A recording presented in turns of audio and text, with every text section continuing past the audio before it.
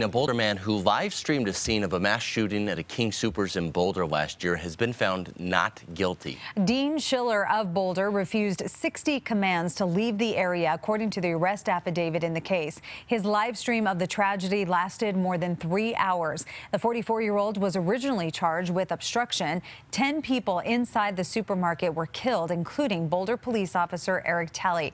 Schiller's live stream showed victims of the shooting, both the injured, evacuated evacuating from the store and bodies of the deceased lying in place. The jury's verdict comes six days after a judge determined the suspected gunman is still mentally incompetent to stand trial.